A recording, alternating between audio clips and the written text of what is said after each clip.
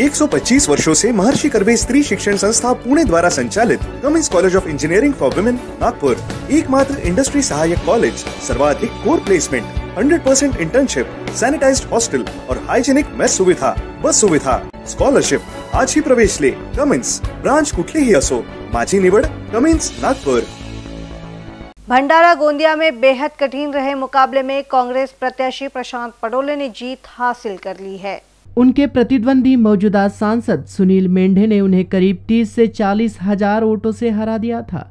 इस मौके पर मीडिया से बात करते हुए उन्होंने कहा कि यह जीत प्रदेश अध्यक्ष नाना पटोले के आशीर्वाद से मिली है और हम भविष्य में बेरोजगारी, शिक्षा, चिकित्सा क्षेत्र और उद्योग को लाने का प्रयास करेंगे।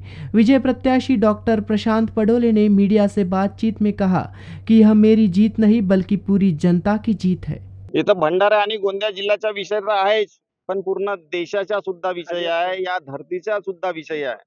आपल्याला माहीतच असेल ग्लोबल वॉर्मिंग वाढतच आहे. माझा विजन मी एकदा आपल्या सगळ्यांना सांगितलं आहे.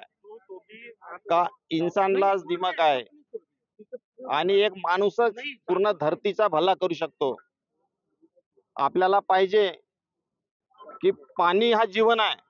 आणि पाणी नाहीचा झाला तर या धर्तीवरचा जीवन पण चालेल.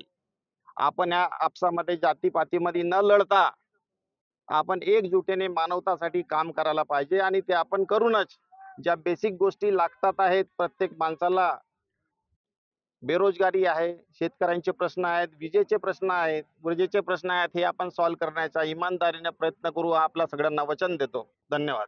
इन न्यूज के लिए गोंदिया से अभिषेक भटनागर के साथ नितिन कुथे की पॉलिटिकल रिपोर्ट